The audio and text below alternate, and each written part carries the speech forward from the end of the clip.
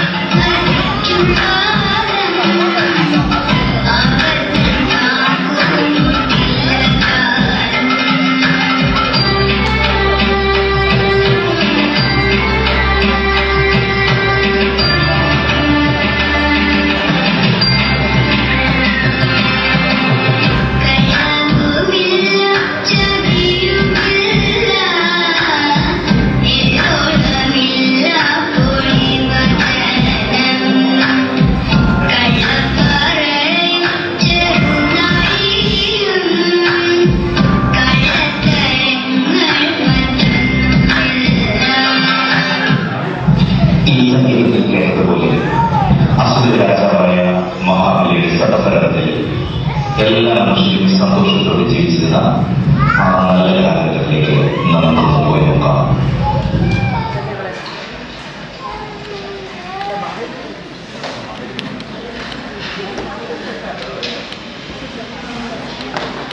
പ്രഭു ഒന്ന് രണ്ട് കർഷകർ അങ്ങേ മുഖം കാണിക്കാൻ എത്തിയിട്ടുണ്ട്.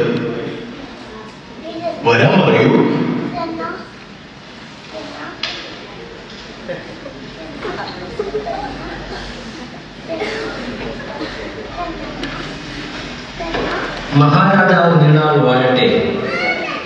ഇത്തവണ നല്ല വിളവ് കിട്ടിയിട്ടുണ്ട്.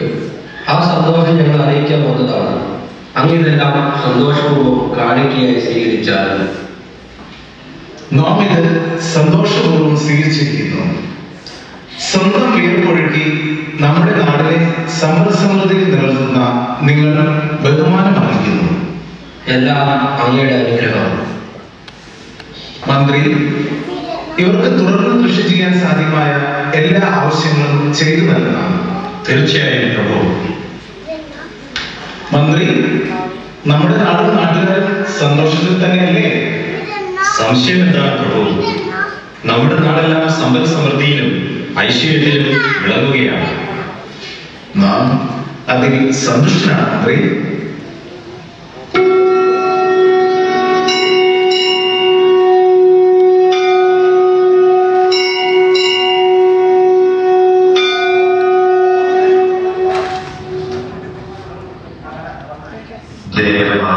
ദേവന്മാരും സിനിമാരും തമ്മിലുള്ള വിദ്വേഷം മഹാബലിയുടെ മനോഹരമായ ഭരണത്തോടുള്ള കാരണമായി മഹാബലിയെ ഇല്ലാതാക്കാൻ ദേവന്മാർ തടവുമാർത്തിരുന്നു അതിനായി മഹാവിഷ്ണുവിന്റെ സഹായമന്ത്രത്തിന്റെ രചനകളിലേക്ക് നമുക്ക് പോകാം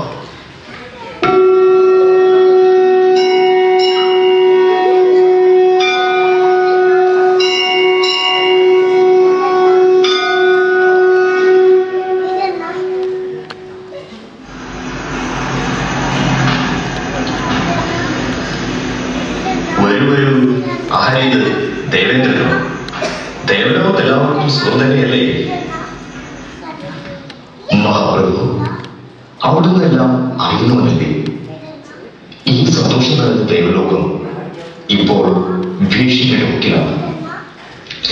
അതിന് മാത്രം ഇവിടെ എന്തുണ്ടായി ദേവേന്ദ്ര പ്രഭു ഭൂമിയിൽ കേരളം എന്നുള്ളൊരു കൊച്ചു രാജ്യത്ത് മഹാബലി എന്ന അസുര രാജാവ് തന്റെ സദ്ഭരണം കൊണ്ട് അവിടെ സ്വർഗതുല്യമാക്കിയിരിക്കുന്നു അത് ഒരു നല്ല കാര്യമല്ലേ ദേവിക പ്രഭു ഭൂമിയും സ്വർഗതുല്യമായാൽ പിന്നെ ദേവലോകത്തിന് ആരാണ് വികലത് അവിടുന്ന് ഇതിനൊരു പരിഹാരം കാണണം.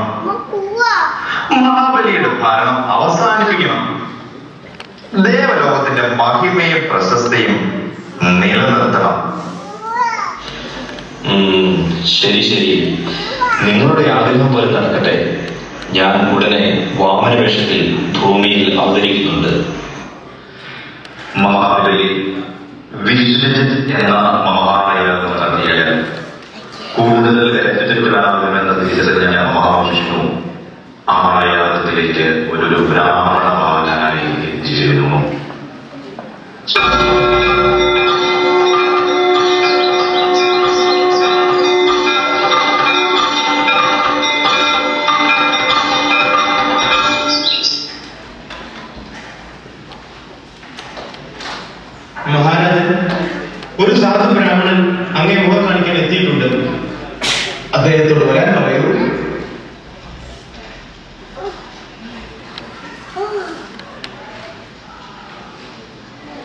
നമസ്കാരം മഹാരാജൻ.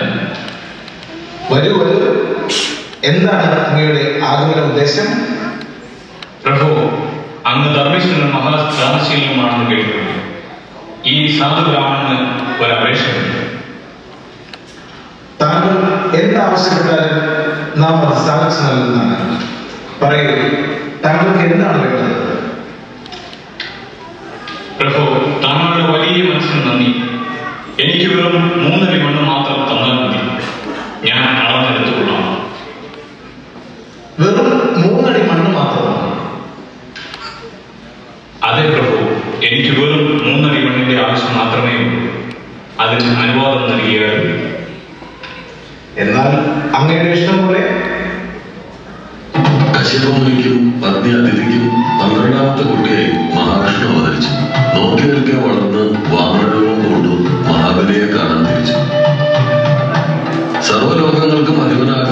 അശ്വമേധയാഗം നടത്തുകയായിരുന്നു ബലി ആ സമയത്ത് എന്ത് ചോദിച്ചാലും ദാനധർമ്മിഷ്ഠനായ ബലി നൽകുമെന്ന് വാമനൻ അറിയാമായിരുന്നു. എന്ത് വേണമെന്ന ബലിയുടെ ചോദ്യത്തിൽ വെറും മൂന്നടി മണ്ണ് മതിയെന്ന് വാമനൻ പറഞ്ഞു. ബലി സമ്മതിച്ചു. വാമനൻ ആകാശം മുട്ട് അല്ല അതിലും മേലേക്ക് വളർന്നു ഒരു കാലടി കൊണ്ട് സ്വർഗവും ആകാശവും വളർന്നു രണ്ടാമത്തെ കാലടി കൊണ്ട് ഭൂമിയും വളർന്നു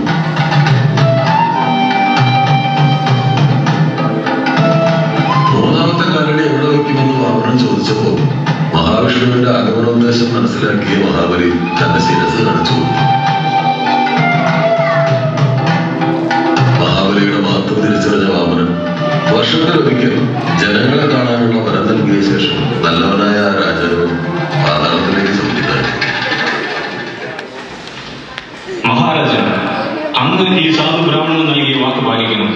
മൂന്നാമത്തെ അടി ഞാൻ എവിടെ വയ്ക്കും?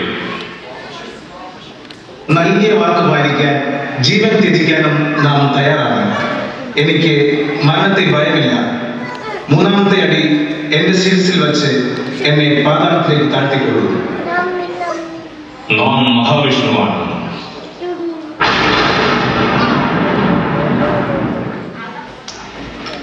താങ്കളുടെ ധർമ്മസ്ഥതയിൽ ഞാൻ സംപ്രീതനായി പാതാളത്തിലേക്കുള്ള യാത്രയ്ക്ക് മുമ്പ് എന്ത് വരമാണ് താങ്കൾക്ക് വേണ്ടത്? പ്രഭു എന്റെ ജനങ്ങളെ കാണാൻ വർഷത്തിലൊരിക്കൽ എനിക്ക് അനുവാദം നൽകിയാലും.